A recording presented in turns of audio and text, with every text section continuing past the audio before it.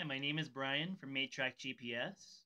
Welcome to the Track to School app, the best way to ensure your kids are safe during the school day. In this tutorial, we will learn about notifications. After logging into the app, touch the three horizontal lines to see the menu for the Track to School app. A drop-down menu will populate. Please touch Notifications. This will present you with the options Arrival Alert and Add Email Alert. Click on Arrival Alert. Arrival alerts will let you know when your child reaches or leaves school, or a pickup or drop off location.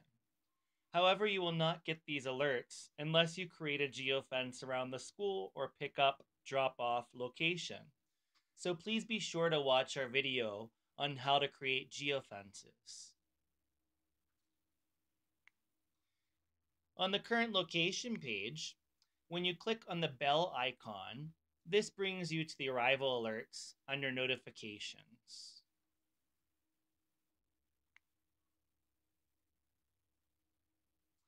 Coming back to notifications, let's click on Add Email Alert.